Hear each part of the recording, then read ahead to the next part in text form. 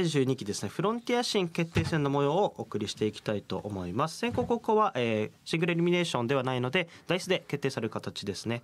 まずは石橋選手が6三品選手が8でおそらく先行であろうと。まあ、もちろん攻撃的なデッキ同士ですので先手はかなり大きいですね、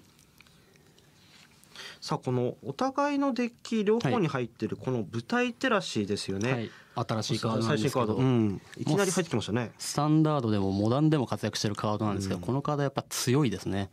実質、まあ、使い切れれば1マナで2ドローと。そうですね。非常に強力なカードですよね。さあそして三品選手初手が土地が1枚か。ただ即走即走とありましたが、うん。またちょっとやっぱり2枚目が引けないと、うん、今どうですか？悩んでる段階か。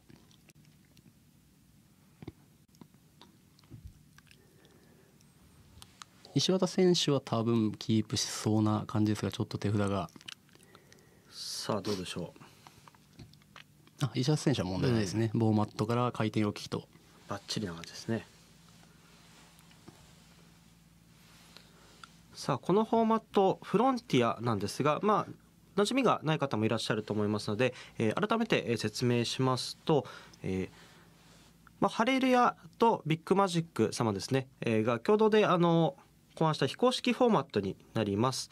で使えるカードは、えー、現在のカードから、えー、タルキール基本セット2015 2015はい。基本セット2015からが使えるというフォーマットになります。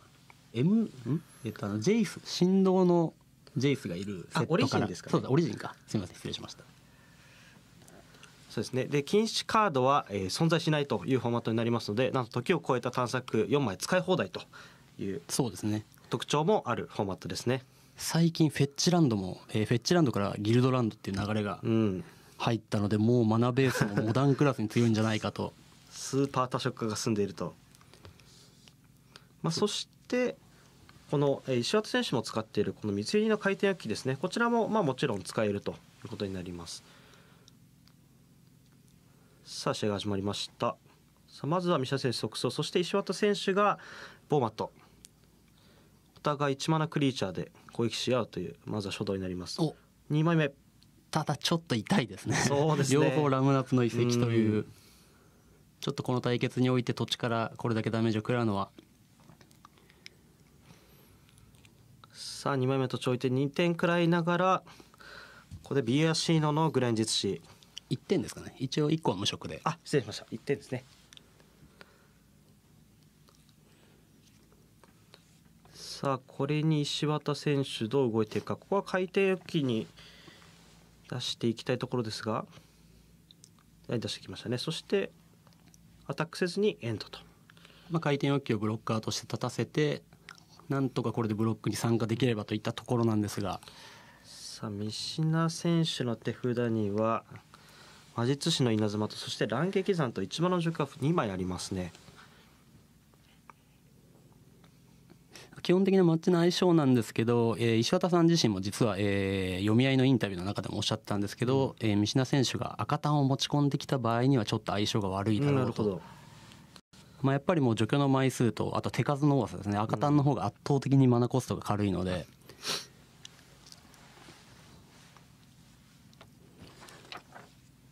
あとはくず鉄状のタカリアとかちょっとブロックに参加できないクリーチャーが入っていたりもするので、なるほどさあここは即走を出してアタックですね。もうこれは103点があるぞと、ちょっとこの状態も除去がないと攻撃に来るのが難しいので。さあここには登場したところに魔術しない稲妻が飛んでくる。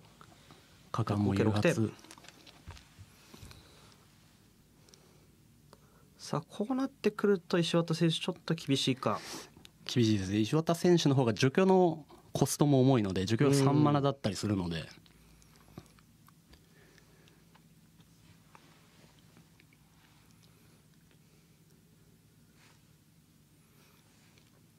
さあ手札には反逆の先導者チャンドラが見えますが果たしてそこまでいけるのかとそうですそしてくず鉄上のたかり屋もあるんですがこれはやはりブロッカーとして役に立たないので出せないと。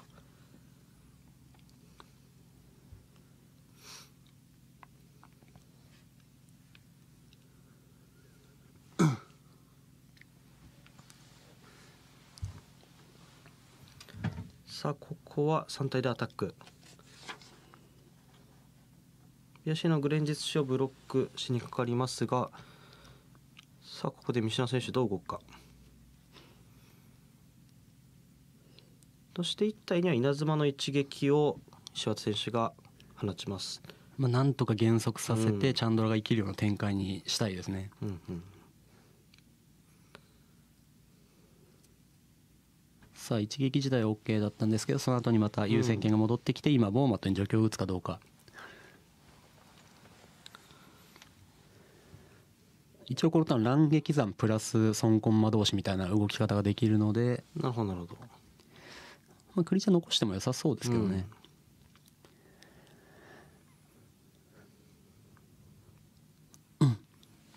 さあかなり悩んでやはりここは乱撃山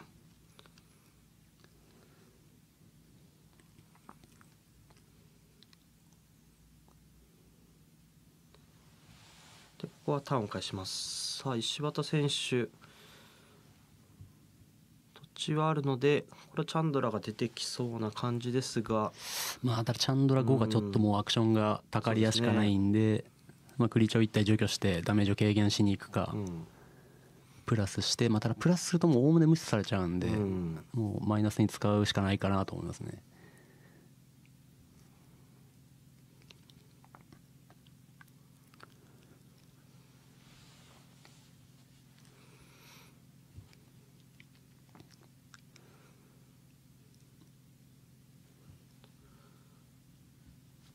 さあここは、まあ、チャンドラを出してどの能力を使おうかというところなんでしょうか？うん、かなり苦しいですね。ちょっとマイナス以外の選択肢はなさそうですけど、マイナス3して、1体クリーチャー除去して、ちょっと三品選手、土地が止まってるってことは、うん手札がスペルだらけが確定してるので、うん。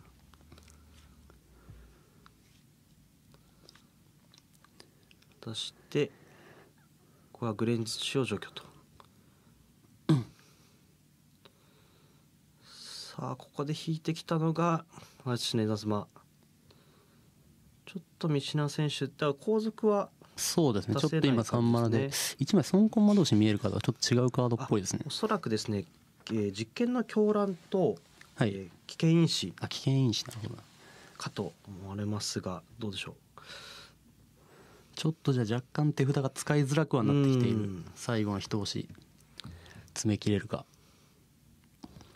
そこは2体でアタック残り6まあただ依然としてちょっと石渡選手の方がやっぱり厳しいですね。スペルを引き続けないと絶対に逆転できないので、うん。そこで石渡選手も総員の即走を出して構えますがさあここで三島選手に待望の3枚目の土地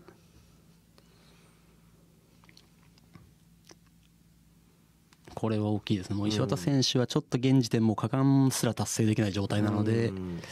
総クソ同士のコンバットが一方的なものになってなおかつライフも盤面も追い詰められていくので、厳しいですね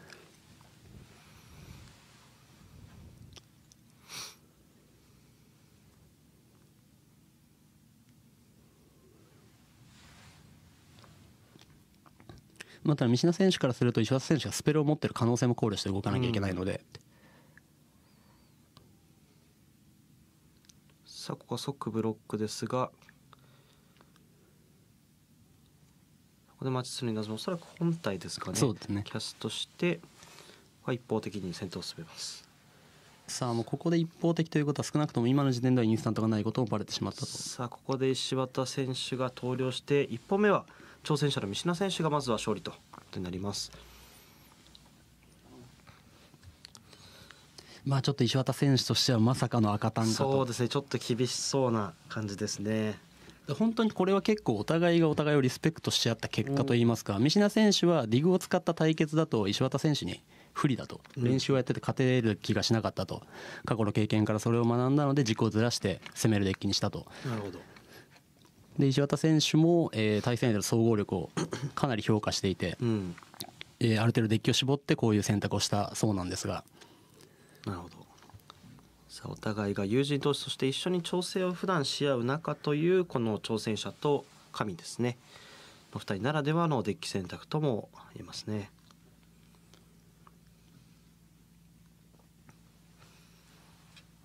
今三品選手のサイドボード見てたんですけどフェロキドンが4枚入ってるんですね。そうですね。久々に見た名前ですけれども。これもスタンダードでは使えなはいい強力なカードですけど、結構久しぶりに見ると書いてあることすごいですね。いやすごいです。これさすがにスタンダードで使えない伊達じゃないなと思うぐらいの。さあこの場場所っていうのはやっぱりどうしても緊張すると思うんですね,、ね。初めて来ると、うん石渡選手も今回は2回目で対戦相手が三品選手ということで前回よりは大丈夫と言ってましたけど、うん。結構ね独特のこの空気なんですよね試合が行われるところって。いや会場ってしかもすごい静かなんですよ、もううん2人だけの空間みたいな感じなので最初に来た時は絶対に緊張しちゃいますね、うん。カメラもねたくさんありますからね、はいさあ2本目まではお互いメインボードのままで、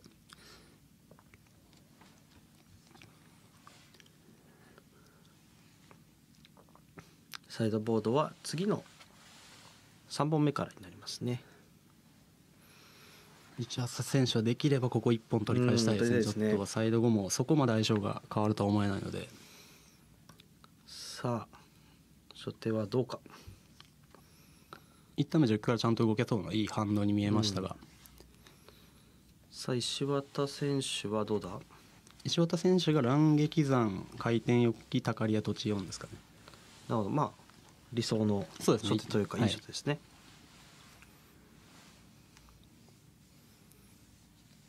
石渡選手土地とスペル分けてくれるの優しいですね。そうです。そういうわけでもないいいや大変見やすい さあそして三品選手がこちらは字が2枚に孫コンマ同士舞台照らしあと、えー、除去がいくつかですね。ちょっと1体目のクリーチャー死んでしまうと舞台照らしも含めて火力祭りでしたね。火力火力火力、えー、孫コンマ同士舞台照らし土地2枚なるほど。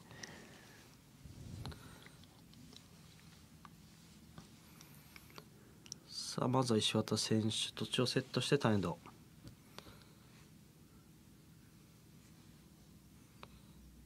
まずはフェッチランド赤緑フェッチから山を持ってきておそらく3コマ都市キャストカード三品選手メインは、えーもう純然たら赤単なんですけどサイド後にちょっと黒いカードが入ってて、うん。それ用にフェッチがたくさん入ってます。なるほどなるほど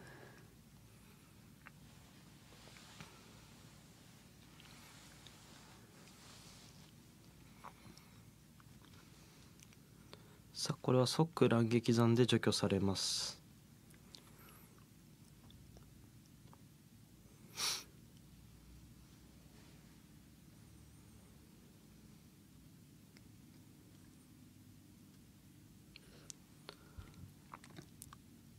さあそして2マナ。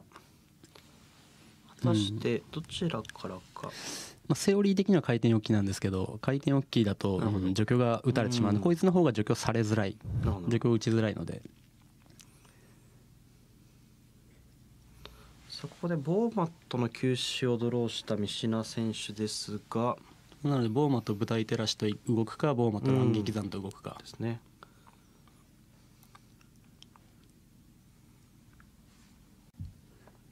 まあ、少し減速させながらの方がいいと思うんで、うん。乱撃山ボーマットが良さそうですけどね、うん。舞台照らしは最悪次のターン普通に打ってもいいですし、乱撃山本体から打ってもいいんで。そうですね。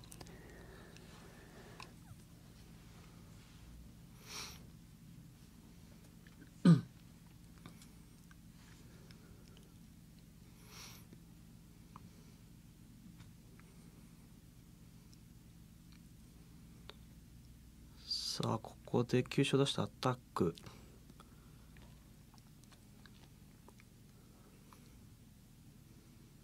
そうですね。カラディシのカードもつい最近と思いきや結構懐かしいですね。そうですね。タカリアとかもこの間まであんなに見てたのに、散々見ていたカードなんですがね。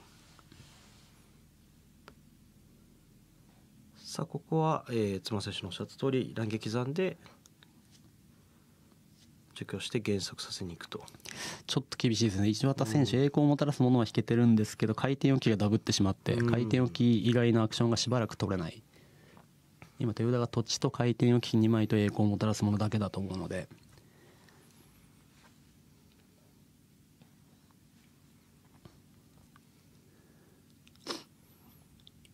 さあここは回転置きを出してターンエンド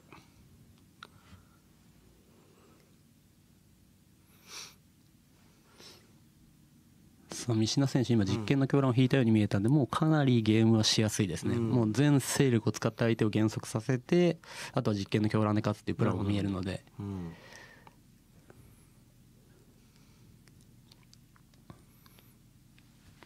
アタックしてここで舞台照らしをキャスト絢爛出てくるね。ちょっとね土地があると完璧だったんですけど。ねめくれたのはショックと実験の狂乱。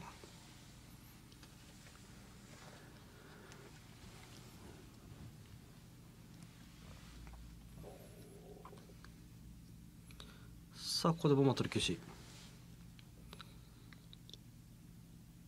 がここには稲妻の一撃が飛んでくる。苦しいですね。ちょっとさっきの舞台照らしでめくれたショックでウォーマットも落ちてしまうので。回転置きに乗れる何かが引ければ。うんそうですね。それかも土地を引いてグローリーブリンガーをうんすぐに出してしまうか。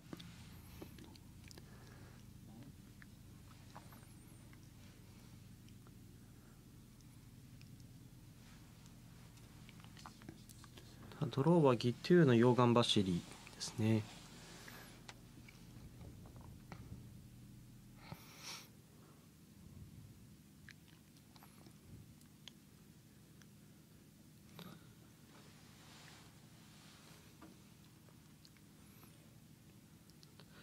さあここはまずは溶岩走りを出してこれは現在2-2そしてアタックですね。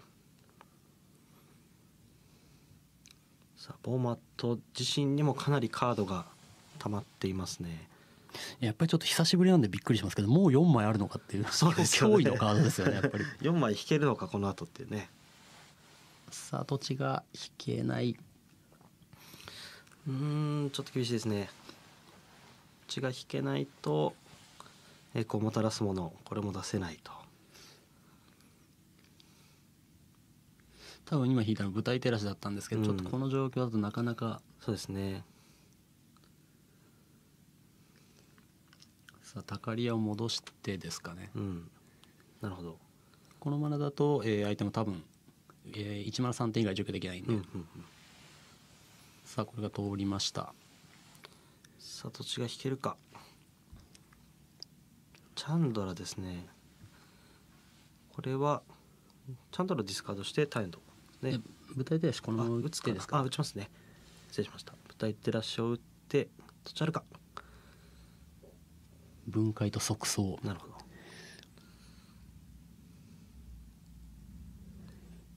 こは即走を出してタインドですね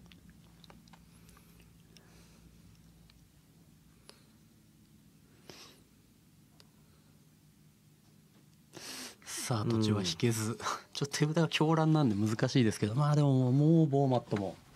結構なプレッシャーですね。5枚ですからね。さあ三品選手もここは即走を出してアタック。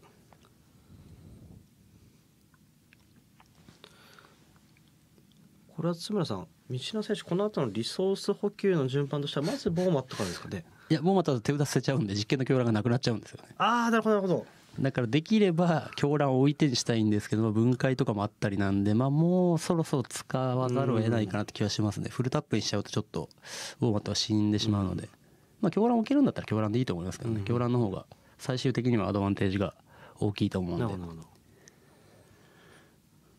さあそしてこれは栄光をもたらすものでボーマットに4点。まあしょうがないですね。うんこれはしょうがなく実験の教団を捨ててハンドに加わります。あけどかなり強いご枚を加わったように見えました。追加の即走と魔術師の稲妻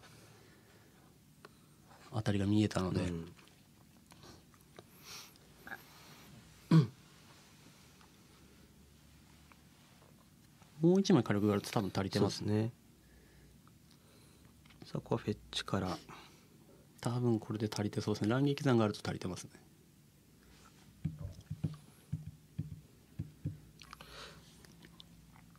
速走を追加してうん。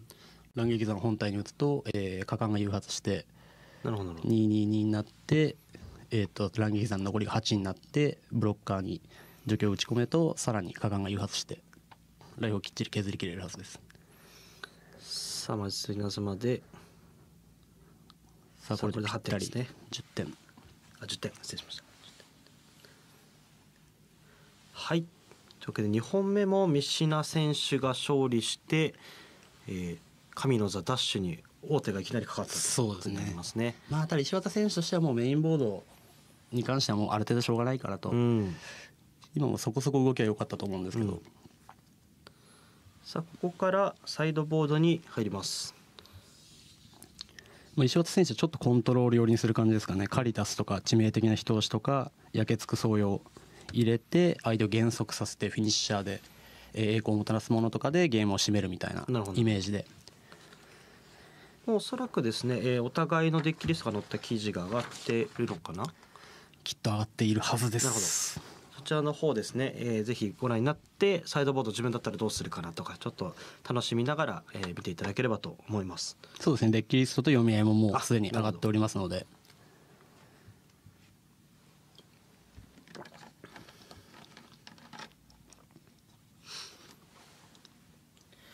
結構石渡さんサイドボード後はかなり、まあ、相手をコントロールするカードというか、はい。いろいろハンデスだったり全体軸だったりプレーンズオーカーだったりはい。増える感じですよね、まあ、ただやっぱり最近のビートダウンデッキの怖いところってサイドボード後にいろいろ形を変えてくると、うん。メインボードを対策する感じでいくと結構いいようにやられてしまう。サイドボードからプレーンズオーカー入ってきたりとか実験の狂乱とかでクリーチャーをさばいたんだけどその後息切れ逆にしてしまって負けたりとかいうのがよくあるので。そういったところにも注意してサイドボーディングをするそうですね。必要があるということ相手のサイドボードを見てちゃんとやらないといけないっていうのが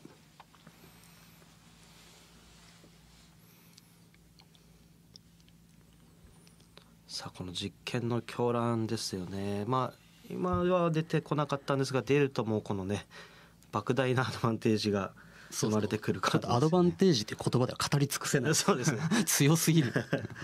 絶望の一言ですね。スタンダードでも大暴れ中のカードですけど、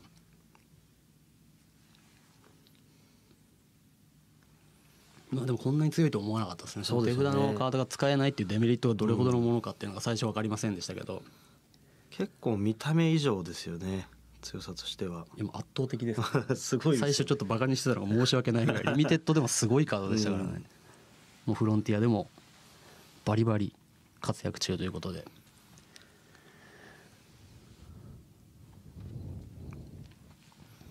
さあ現在ですねフロンティア試験決定戦。3本目の前のサイドボード。ここから行われています西田選手はあんまりメインの形変えずにいくかなと思うんですけど、うん。どうですかね？黒いカード結構サイドにしてるかもしれないですね。なるほどサイドにあんまり映ってるように見えないのでコラガンの命令ですとか残忍な切断あたりを入れてる可能性が、うん。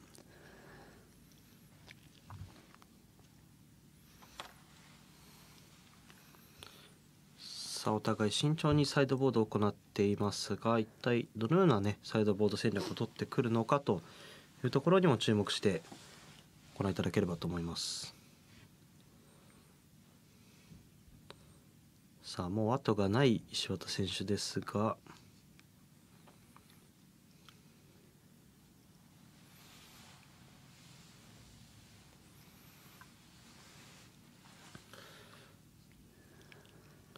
なるほどちょっと B や C のグレンズ紙などなどを減らしていたように見えた三品選手ですがまあ、この辺がちょっと最近の赤い出来の難しいところだなって自分でやってても思うんですけど、あの舞台照らしとか、えー魔術師の稲妻があるんで、うん。軽いクリーチャーを以前のような感覚でサイドアウトしてるとちょっと手札がつなかなか使い切れずになるほどなるほど。負けてしまうといったことがあるのでこの辺のバランス感覚も結構難しいなと思いますね、舞台照らしとか非常に強いカードなのは間違いないんですけど、メインボードと同じ感覚でずっと使ってるとちょっと使いづらくなったりということがあるので BSC のグレン術師も昔と違って場に3ターン目に出していきなり舞台照らしを使ったりといったこともできるようになったので前以上に価値があるなと。なるほどなるほど。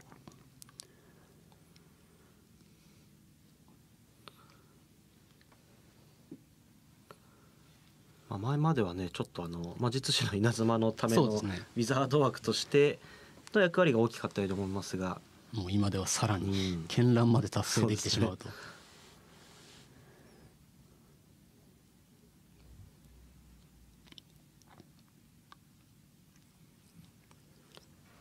三品選手かなり慎重にサイドボードを行っている様子ですね、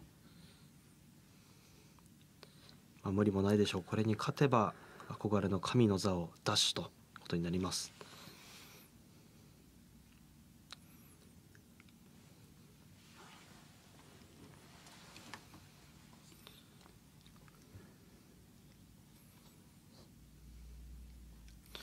やはりちょっとグレンズ氏をどうしようかと考えてる本当に難しいですよバランスが。うん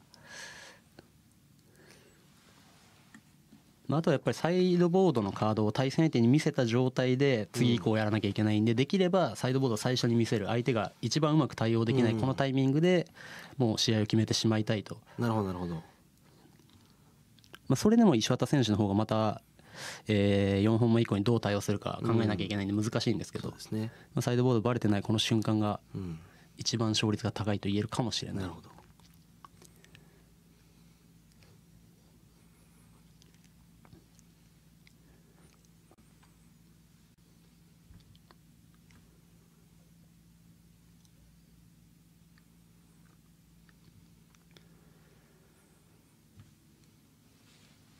さあ三品選手実は石渡選手が神になった時の挑戦者決定戦、うんえーで実は9位だったらしくて。なるほど。ぜひ次は絶対に勝ちたいと意気込んでいった大会で見事に優勝して今この場にたどり着いてると。いや本当に大変なことですよ、うん。2人揃ってこの場にいるのがいかにすごいことかというのは。本当にね調整仲間としても信頼しちゃってる2人ということですね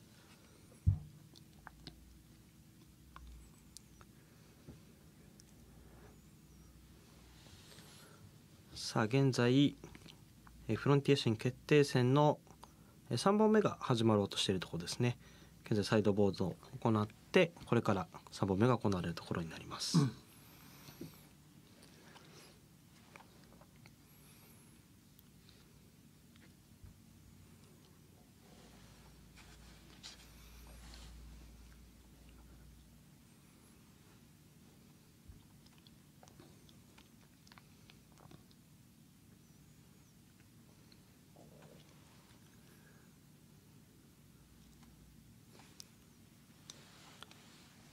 さあ3本目も石渡選手がおそらく先手を選択するかと思われます。相手が遅くしてくると分かってたらうん。後手を取ったりとかもありえなくはないんああですけど、まなるほど、うん。あ、ただもうメインボードやっぱ赤単でいやその辺が押し付ける系のデッキの強みというか、うここ数年ですけど本当にサイドボード後に速度に緩急をつけるっていうのがこれほど効果的だというのがうんうん。判明したのは。結構現代的なテクニックなわけですねマジックの、いや本当にすごいです。まあ、えーマルドゥ機体でうん。最初に考えた方がうんうんいらっしゃるんですけどもそれが未だに続いてるようなイメージですね。さあここで石渡選手がマリガン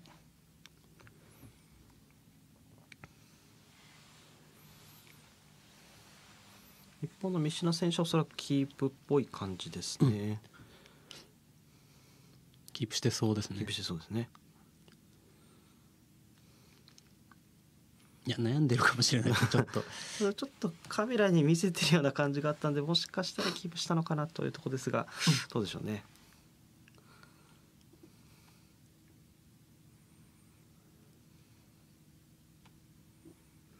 キープしてますね。土地が3枚。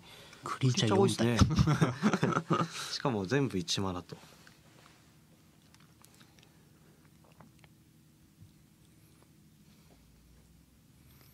さあ石渡選手は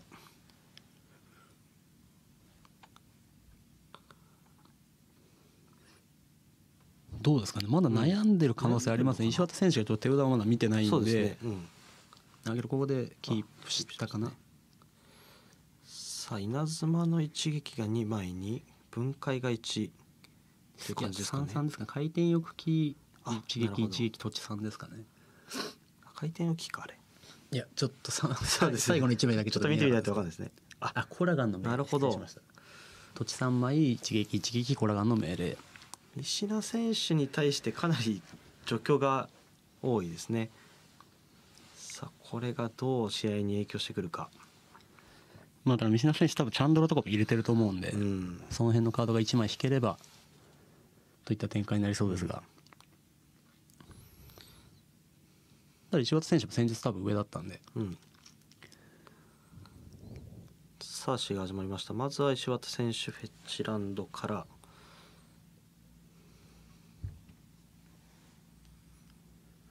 西野選手は置く土地が結構迷って。サイドはあれなんです。よ黒が入ってるんでここでいきなり持ってこなきゃいけないんですよね。山からだと1点で済むんです。あ1点も食らわなくて済むんですけどペイ3になってしまうので。さあここは知の墓所から、そういうの作戦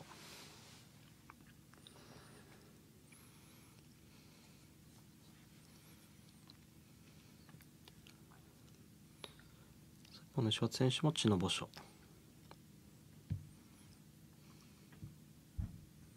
さあ石渡選手減速自体が、えーさせられそうなので、うん。石渡選手も何か場面を支えるようなカードだったり攻撃手段があるといいんですけど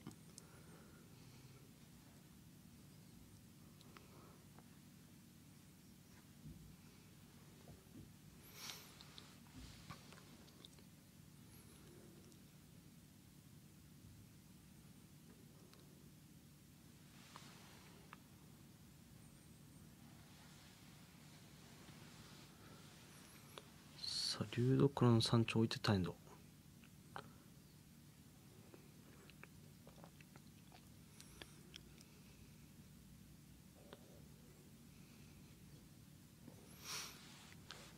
さあ孫コンマ同士かける2でタインドですね。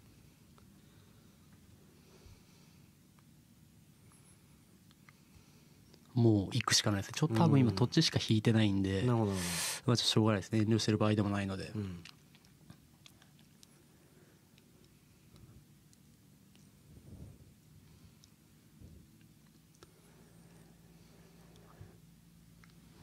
お互い決め手が欲しいですね、そう何かしら。ですねやはりそうなってくると、まあ、実験の狂乱、まあ、お互い舞台照らしは入っているんですが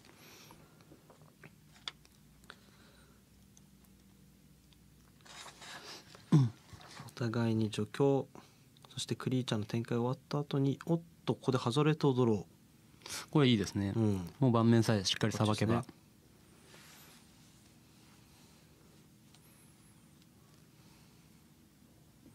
まあ、ただハゾレットがいるんで今の間に孫駒同士はできるだけ殺しておきたいですね、あのマイナスカウンターだと破壊不能も意味がなくなってしまうので。なるほど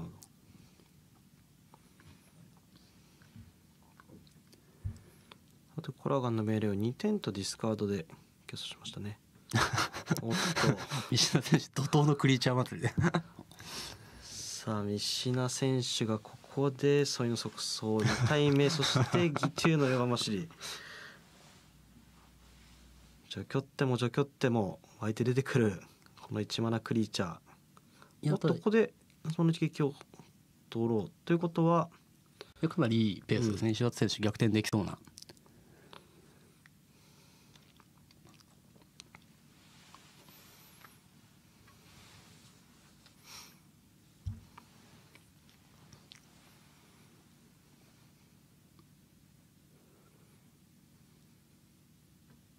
おおこれはいいですね。さばき切りましたね。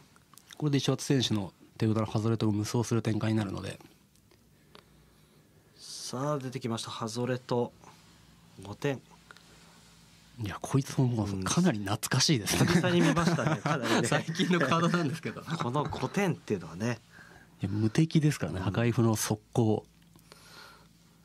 さあここでエンドに松島の稲妻を本体に打ってさあ石田選手このまま削りきれるか。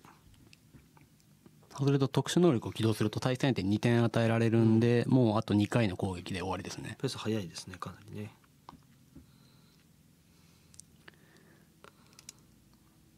さあ三品選手次からはもうブロックしないと死んでしまいます、うん、さあここでフェッチでこれも少し前のスタンダードともおなじみの光景でしたけどですよねもう無敵の神ハズレトが孫コンマ同士が絡まないと基本的には殺せないんで、うん。おしかし。孫コンマ同士をまたきましたね。ただこの状態から殺すのはちょっと2回火力がいるんで、なかなか難しいですね。さあハズレト起動して残りが4これはブロックしないと死んでしまう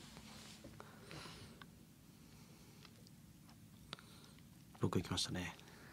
ただもうハズレトの能力で行って帰ってて4点あるのでこのターンに勝ち切るか、うん。ハズレトを殺せる何かを引かないといけない。チャンドラとかですかね一番いいのは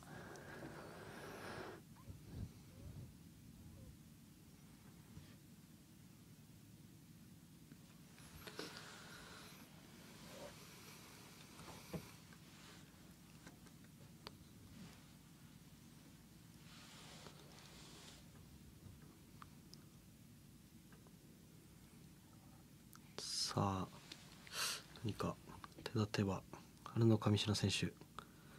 ここで投了ですね。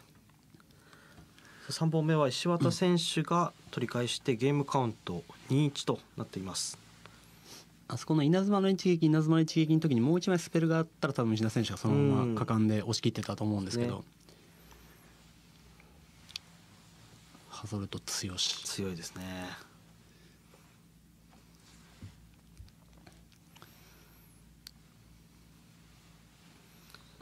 かなり久々の外れたパンチが。まあやっぱり強烈ですね、うん。ライブ12 12とかもっと17か。17だったと思うんですけど一瞬でなくなりましたからね。さあ三品選手はちょっと先手ということでうん。前のめりにカードを変えるか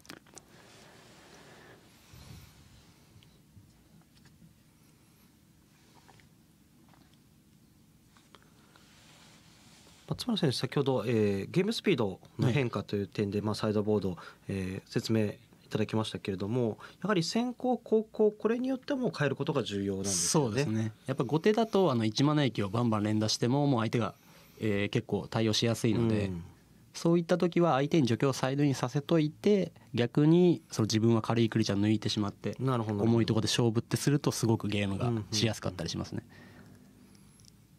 で後手でそういうプランを見せておいて先手の時にまた戻したりすると相手が対応しきれなかったり相手遅いじゃんと思ってサイド後に相手が遅い対応してきた時にまた速い方に戻しておくと相手がスピードの緩急に対応できないと。なるほど。今のスタンダードでも宝物の地図とかを使ったサイドボードプランとかもあるんですけどやっぱりそれをいかにうまく使うかっていうのは後手の時は、えー入れたりとか先手は入れなかったりとかそういう切り替えはすごく大事ですね。なるほど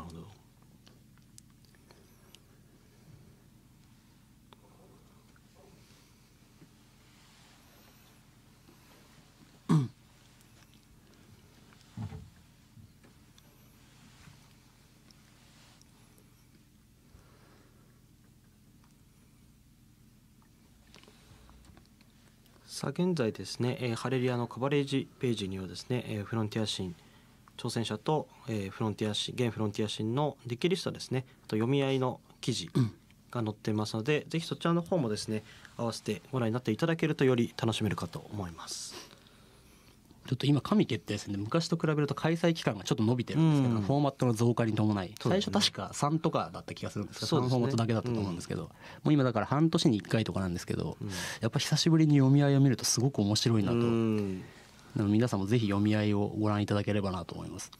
本当に神決定戦ならではといいますか神決定戦の大きな魅力でもありますそうよね。ですね。そのデッキがわからない中でどううん、読み合うかっていう。あとやはりその開催期間の間が長いということはやっぱり準備期間もね多くあるということで、まあ、かなり、まあ、皆さんも試行錯誤しながらこの日を迎えていると。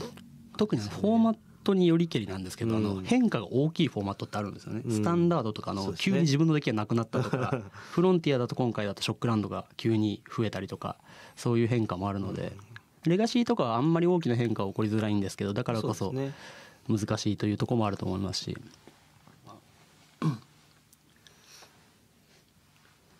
まあ、そんな理由からスタンダード紙は最も防衛が難しいなんて言われたりもそうですねしますよね。昔から言われてたんですけどここ最近は3連続ですかね、うん岡井選手が防衛し続けてるんですが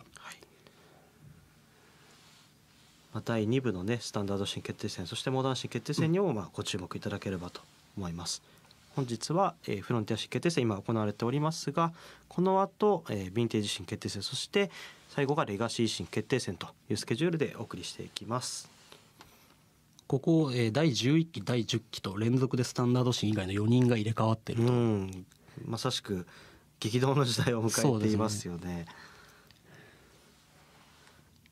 まあ、なんといっても、まあ、もちろん、まあ、皆さん思い出深い神そして挑戦者だったんですが中でもやはり衝撃的だったのは第10期連続防衛を目の前にして敗れたえー川北史郎選手そうですね。ですよね。レガシーシーンだったプレイヤーなんですが、あと1回だと本当に名誉うんレガシーシーンという、すごい称号がねつくところだったんですが敗北してしまったと、ま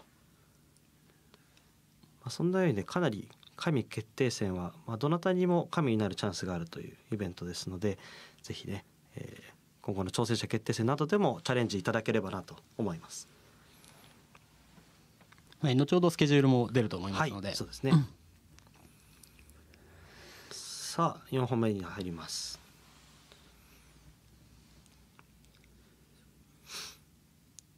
さあここから連続で取って防衛できるか石渡選手それともここを勝利して念願のフロンティア新になるのか三品選手というところですね。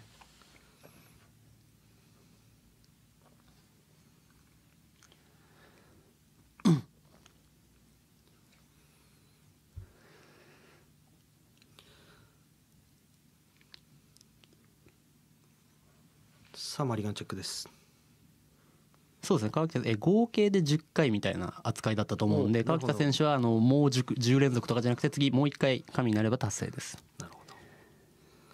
さあ石渡選手ですが今度は石渡選手がクリーチャー祭りな 感じですよね。即走即走ボーモットみたいな見えますねね。赤い天気か即走三連星がさあビシャ選手土地が一枚ですが、まあ、クリーチャーも火力もそして舞台照らしもあると。まあちょっとけど舞台照らしが絢爛できないと厳しそうでしたね。そうですね一旦目のクリーチャーが生き残るかどうかで全てが決まりそうな、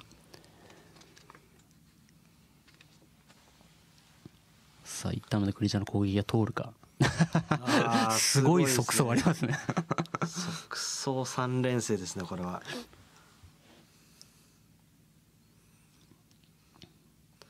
さあまずはフェッチランドからギトゥーの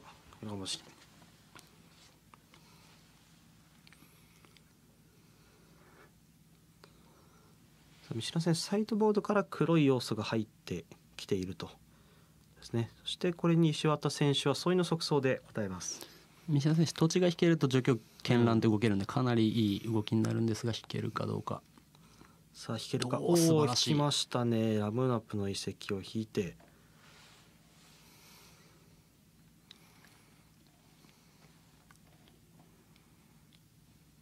まあちょっと手札的に舞台照らしを打たなきゃ始まらなさそうなんで、ん素直にいきましたね。さあウィザーズライトニングで除去してギテューの四眼走りでアタック。これで剣羅達成。さあ照らしていきます。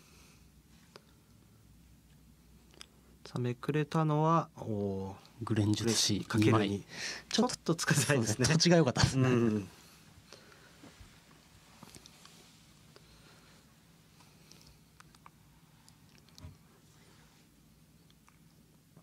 さあただ三品選手今の間うんにギテの4番走りも2-2になりましたしちょっと石渡選手としては止めるのが難しくなり、うん。さあここはダブル速走おこれアタックしていく。さあ土地は引けたのか。引けて引けない。引けてない感じですね。土地が2枚止まりましたがここはグレンズ値を出してタイムド舞台照らし手札にもう1枚ないですかね？なんかどうですかね？なんかありそうですね。そうですね。ちょっと今舞台照らし経由でいくかなと思ったんですけど、うん。欲張らずということですか土地がめくれなかった時に最悪の結果を招いてしまうので我慢してなるほどなるほど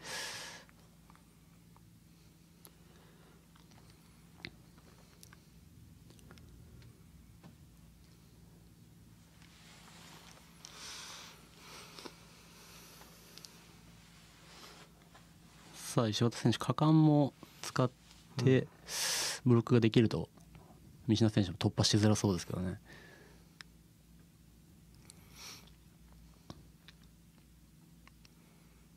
お殴るか、うん。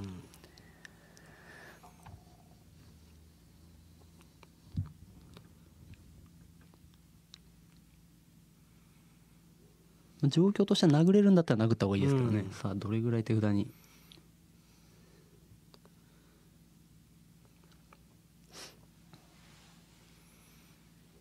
おお得しましたね。あカリタスが見えますね。これいいですね。このまま次のタカリタスを出してブロックもしづらい状態で。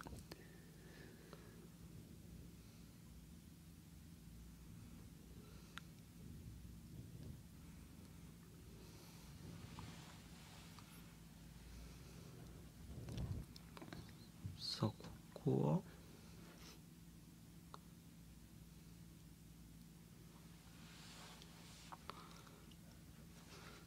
さあどうだあードローが実験の狂乱っぽい感じでしたね。うん引けませんね。ここの舞台照らしで土地がないと、ちょっと厳しい感じになりますがさあどうでしょう。ない。ない。ただまあただ、えー石渡選手の脅威は全てさばける可能性があるので、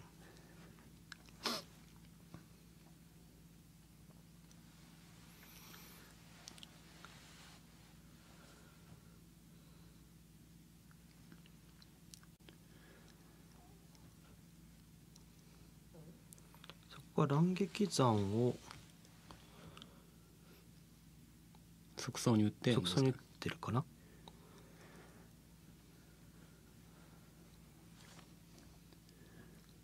さあ三品選手重いカード強い重くて強いカードは手札にたくさんあるんでなんとかゲームを長引かせたいですね、そうですね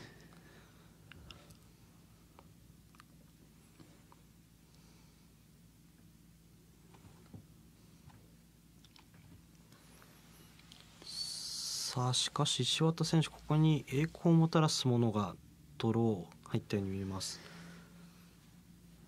まあ、これが連打できるようだったらカリタスから一気につなげられるようだったら石渡選手がそのまま押し切りそうですけど。で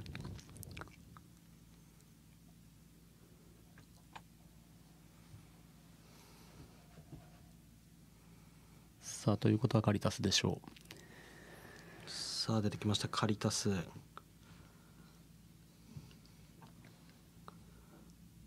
もう非常に強力なクリーチャーですが、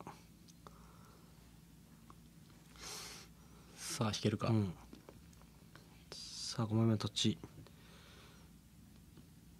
5枚目の土地を引いていれば栄光をもたらすもので一気に有利になりますが。おおここは渋い。大き会議士これも久々に。渋い。こういうクリーチャーけどやっぱ、うん。えーピアナラとかもそうでしたけど赤対決では強いですよね、うん。地味ながら確実にアドバンテージが得られるんで。さあ2体目のグレンチを出してたエンドこれで石橋選手ライフが6さあお互いに火力射程圏内というところですが。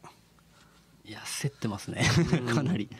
石渡選手も今引いたのが焼けつく総用今の時点では全く必要じゃない。うん。回転翼機にも多分速攻がつくはずなんで、うん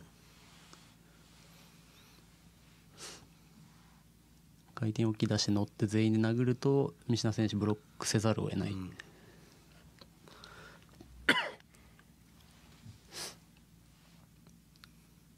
控え岸だけ残してですかね。飛行が乗るのが11トークンが乗って今速走が23なんで、うん。速走と回転置きで殴って地上チャンプさせて13をブロックに立たせるのが一番盤石に見えます。ね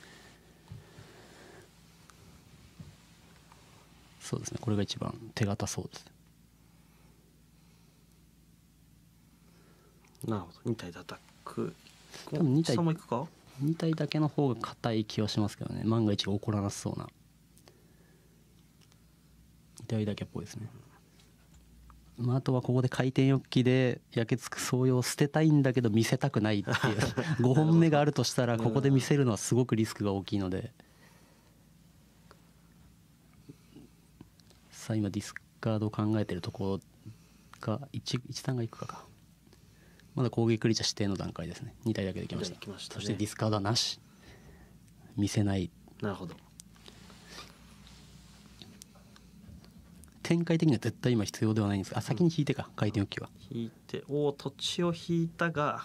うんここはできれば。ね。もう間違いなく一番いらないんですけど、うん。ただ5本目に向けては絶対に見せたくないっていうジレンマが焼けつく総用ですね。この全体状況を見せたくない が今一番最もどう見ても一番いらないっていう。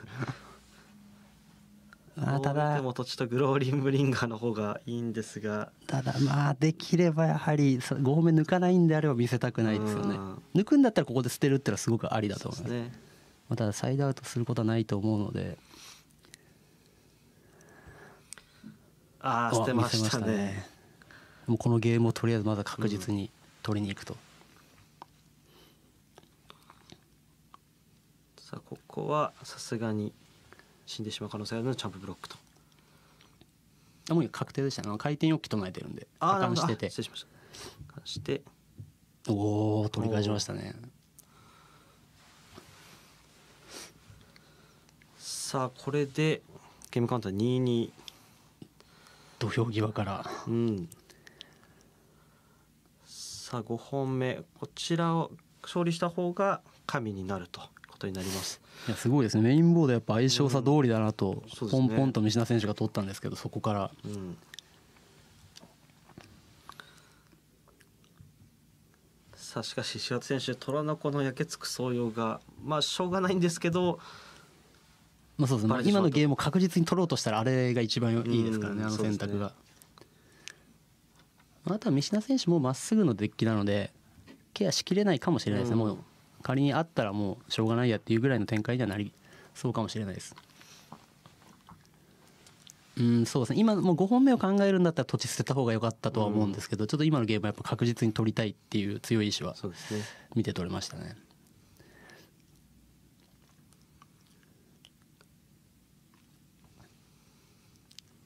まあライフ6ですからね。そうですね。も全然油断ならない。りうる次のターン、グローリーブリングがもう出せる状態だったら100%ほぼ100%、生き残りさえすれば勝ちなので。さあだから三品選手やっぱりサイドゴロデッキのバランスは難しそうですね、うん。どうすべきか。ある程度メインボードに近いままの方がいいかなとは思うんですけどね、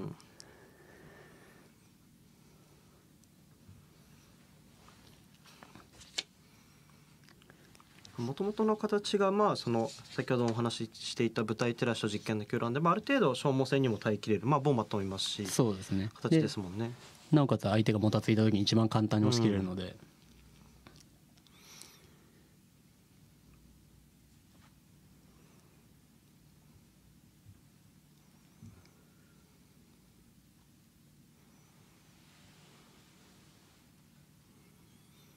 さあ現在フロンティア新決定戦勝負は2-2となっております。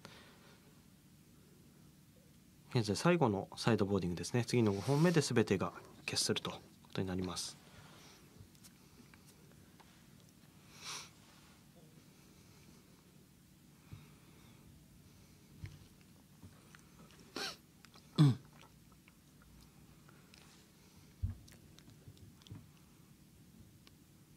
ああなるほどやはりちょっとオレンジ紙はかなり全抜きしてる感じですね。そうですね。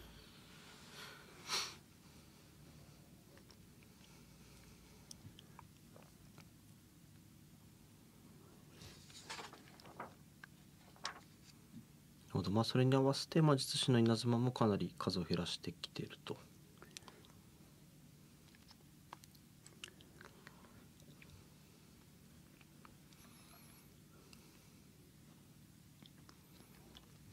はいすみません。先ほどちょっともしかしたら放送の中のランド24って書いてあったかもしれないですけどランド20ですね。足し算をすると。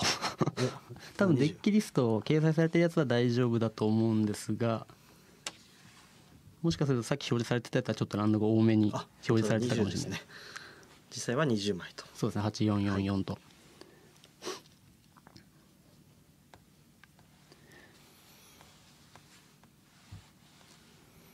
まあでもこのまあランドの枚数っていうのも舞台照らしがあるからこそ安定して動くっていう感じはしますね。前まではなかなか20枚でうん。っていうのは難しい、えー実験の狂乱と使うんだったら難しいかなという感じはするんですけど、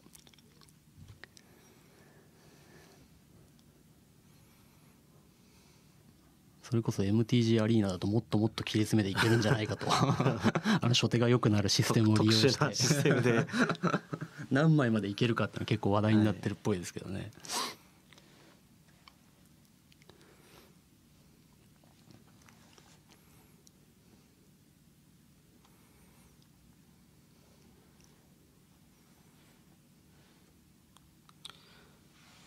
さあ最終戦5本目がスタートします。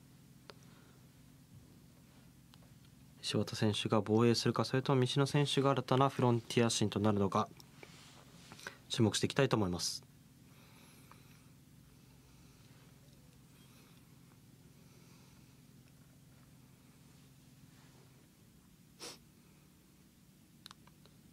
さあシャッフルが終わってマリガンチェックです。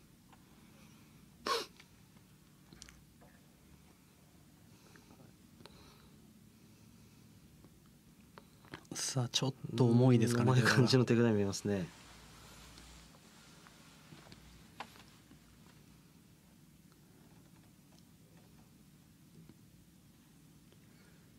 さあしかしこれはキープいやあマリガンです。ね。4マナ4マナ4マナ5マナみたいな。さすがにマリガンそうですね土地1枚しかなかったですね。最初は選手はおそらくキープか。いやちょっと悩んでるか。あいや問題なさそうですね。即走即走タカリア稲妻の一撃チャンドラ土地2枚。もうかなり理想的なハンドですね、さ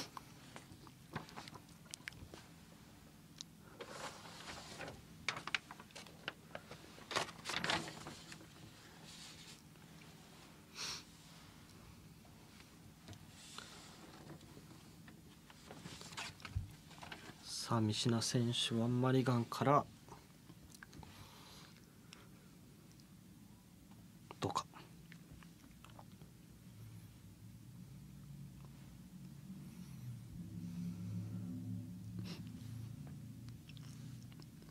僕は最近20枚から19枚まで減らしましたけどそこまでですね。なるほど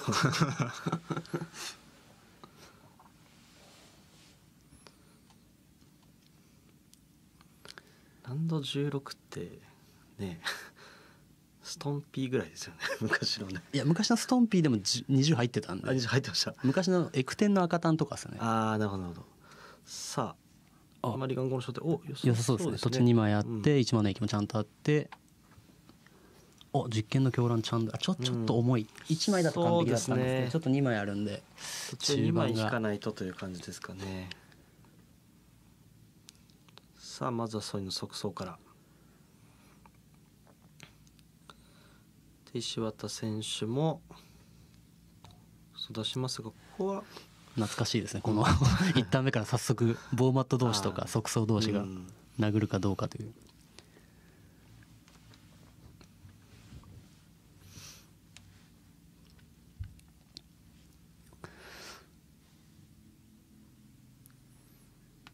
さあ三品選手3枚目のどっちは引けましたね、うん。あと1枚。あここでターンを返しましたね。あ。まあちょっとエンドって言っちゃったあなるほど。感じですかね。言っちゃったんですね。なるほど。ちょっと四眼橋が出せずでしたが。さあしかし石渡選手は逆に3枚目の土地が来ない。うん。今の時点では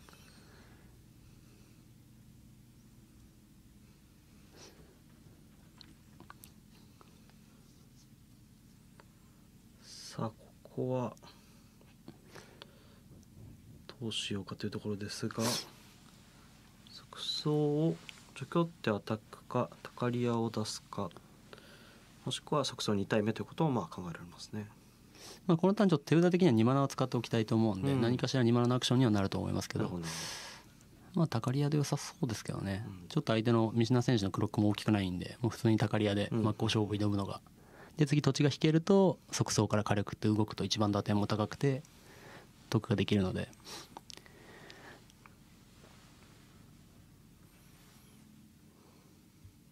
そうですね。脱線しまくるんですけど昔のミラクルグローとかっていうエクテンのデッキは土地10に土地譲渡4みたいな。土地上とありましたね。さあここは普通にアタックしてお除去から。うん。除去を使うということを選択しましたね。お使わない。ほう。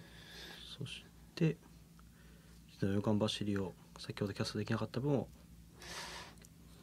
ちょっと水名選手の今のターンの道路気になりますね。土地だとすごくゲームがしやすいんですけどそれ以外だと使えるかどうか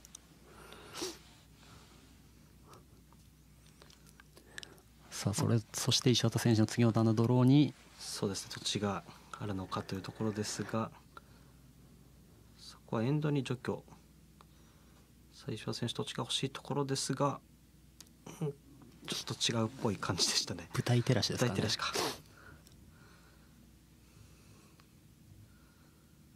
さあこれは大変止めづらいんですが、うん。実は止められると石渡選手としてはすごく困る、うん。舞台照らしが打てなくて実はインスタントも今手札にないのでブロックされるとこのこのターンちょっと静かなターンになってしまう。お行きました。おー僕行きましたね。何も起きず。さあここはタカリアを出してターンエンド。そして三品選手はエンドにフェッチ。さあ石渡選手舞台照らしが打てなくちょっとしょうがなくと。また今のターン、ねあれだけ豪快にブロックに行ったということは4枚の途中引いてる可能性が、ううんん引いてますね。を引いている。なんか今このターン盤面はどうでもよくてできればそこに注力してほしかったっていうのが三品選手としては4枚目の途中が確定してるんで、結構躊躇なくブロックに行けたとそうですね。感じですかね。4枚目がないとちょっともうちょっと難しかったかなと思うんですけど、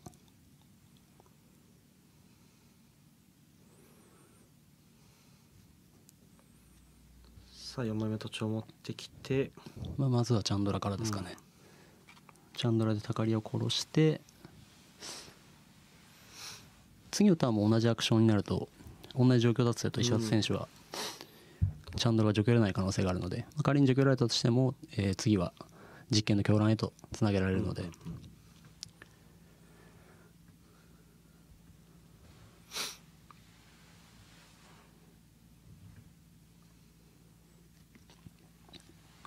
さあ選択肢としてはチャンドラマイナスでタカリアを殺すかチャンドラプラスでマナを出して即走を出してブロッカーにするか、それとも実験の狂乱をいきなり出してしまうか。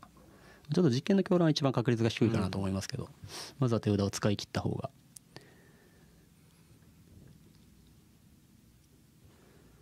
まあ、だから先ほどのターンは石渡選手全力を出してもあのうんう12んギトゥーの溶岩走り殺せるだけだったんですけど今回は全力を出すとチャンドラが殺せるんで、うんうんまあ、ちょっとさっきと今とは状況が違うので手札はまだちょっと読みづらい状況ですね。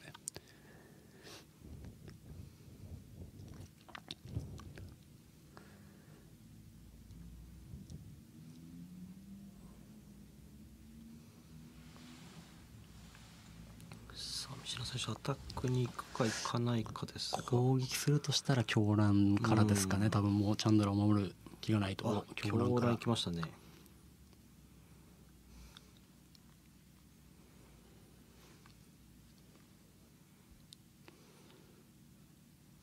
でちょっと守りを固めつつもう狂乱のアドバンテージだけで、なるほどなるほど、まあ、色的に壊せないですからね、うん。さあしかしこれで先ほど達成できなかった絢爛が達成できるので舞台照らし。うーあーっと土地がしかしないしかも乱撃山でこれ。なるほど。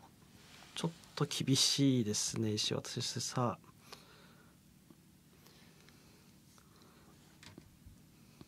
さ。あ土地が喉から手が出るほど惜しかった石渡選手ですが。アップキープ悩んでるんで多分アップキープに状況。ほ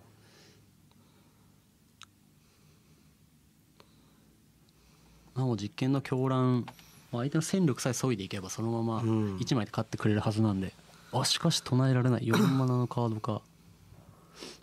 土地でもないうこれは仮に上が除去だったとしても、まあ、メインターンに唱えていくことがまあセオリーなんですよね。まあ、なので単純に唱えられなかったカードかなと思いますけど、うん、さあ石渡選手。このドローでも土地がちょっと恵まれなかったか。続走で2点アタック。なんだったんですか？3マナ4点ですかね。あ3マナサイドボードの極上の演技ですか結構悩んでますね、うん。なんでしょうね。残忍な切断。コラガン命令。コラガンの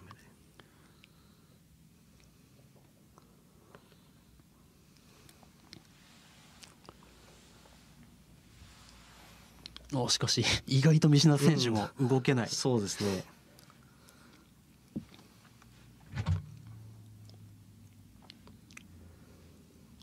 さあ速走2体目を出して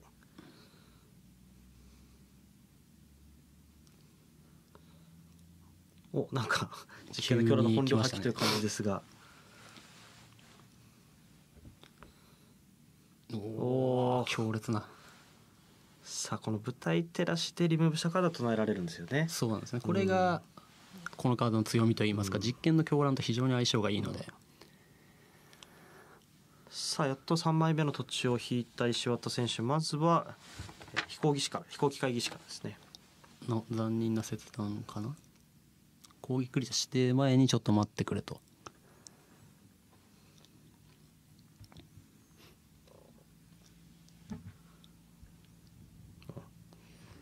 切断っぽい感じですね。そうですね。黒1で攻撃クリアして前にということなんで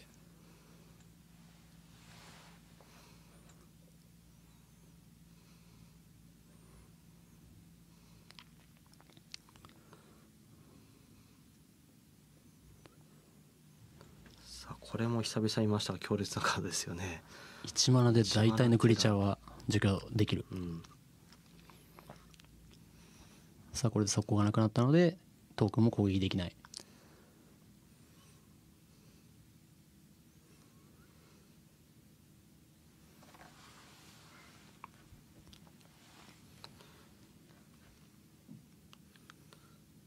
本体ですかね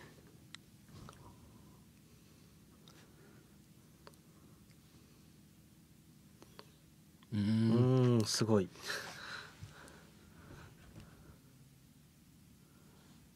さらに、破壊と2点ですかね。うん。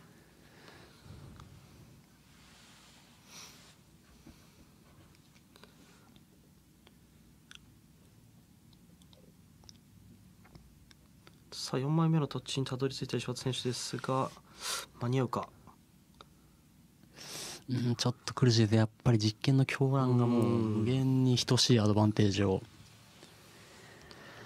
手札にはチャンドラそして飛行機会議士栄光をもたらすものと無許可の分解が見えましたね。さあうんここで。うんここで決着。第12期フロンティア新決定戦、えー新たな神となったのは挑戦者三品亮太選手です。おめでとうございます